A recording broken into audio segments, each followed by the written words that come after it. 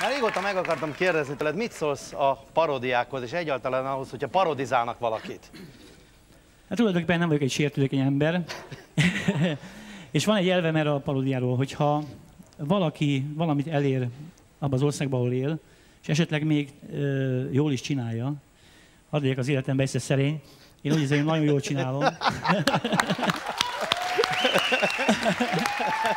akkor, akkor talán, talán, talán még öröm is, hogyha ez így működik, hogy esetleg parodét csinálnak a számodból. Vagy... Tehát tulajdonképpen nem zavarna az, hogyha parodizálnának. Egyáltalán nem. Na most egy olyan együttes következik, aki sok parodiát feldolgozott, sok együttest feldolgozott, a Gypsy King, magyarországi helytartója, az Irigy,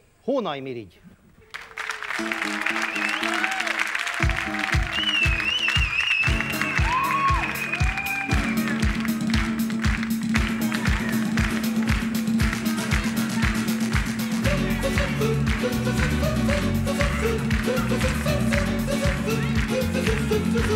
you.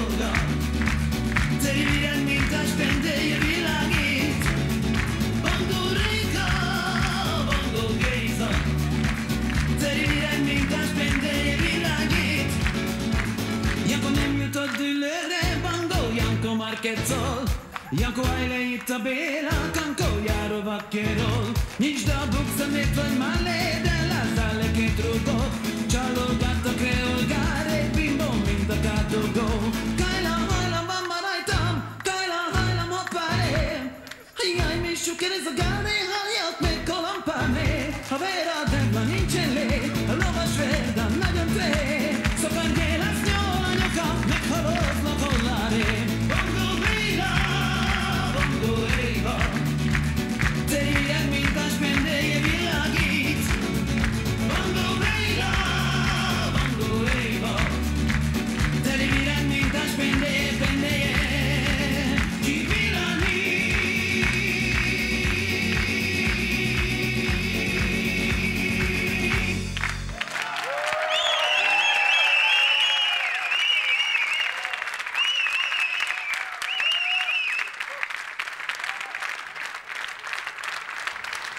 Gratulálunk a Los Aluliaros együttesnek egyébként.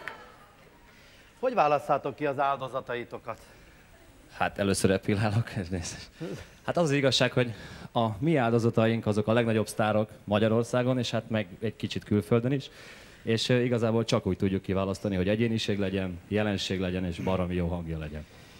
Például Jimmy-t kiválasztottatok-e már? Hogy kérdezem meg? Hát Jimmy-t nem mertük még egész nótába feldolgozni, mert olyan hangja van, hogy azt három percig egyfolytában nem nagyon lehet utánozni, de betűzdeltük őt, mint vendégművészt egy-két nótánkba. Hát reméljük, hogy jól sikerült, és állítólag meg se sértődött.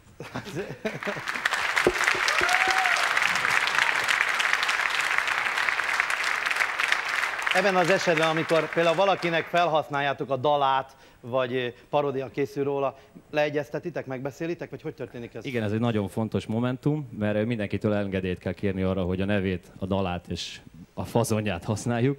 Ezért kérünk mindenkitől írásbeli engedélyt, és hát a legtöbben, akik a lemezen, lemezeinken szerepelnek, meg is adták.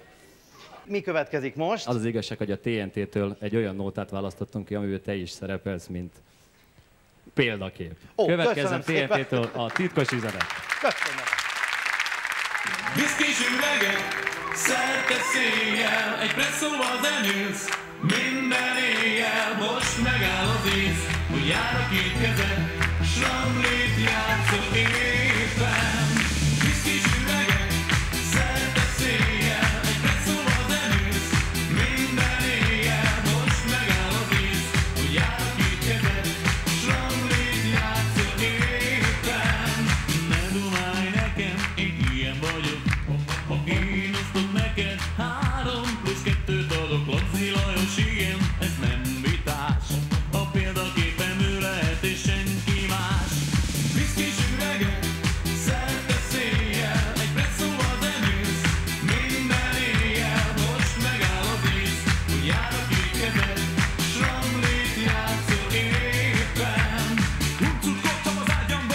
Mindenféle össze-vissza álmodtam Hogy a rendőrnő ellent, ha elalszom Majd a fejére húzom a bakancsom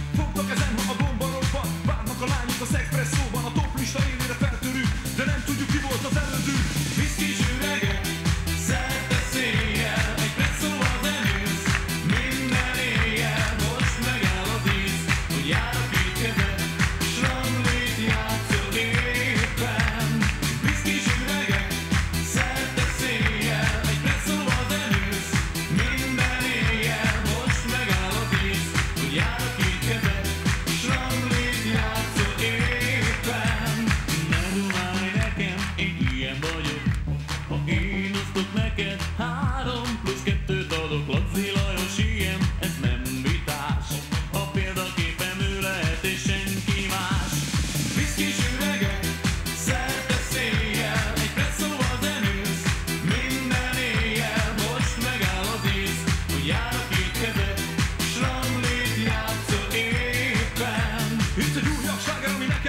Aki ezt hallgatja, az befarcol A stílus egyből levettem Mikor egy vidéki lanciba lementem. Mert olyan volt nekem, mint egy belső kényszer Ez az a fajta siker, ami nem jön kétszer. Pulünk, hogy csillag az ége.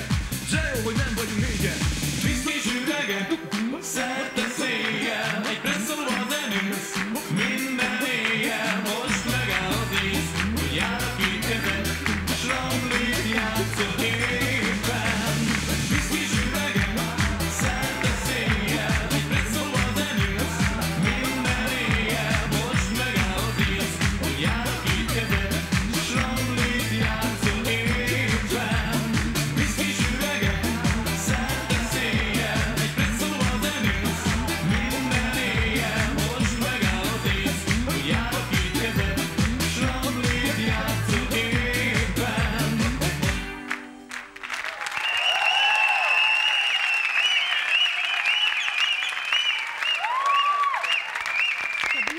Tessék szívem. eszembe jutott valami.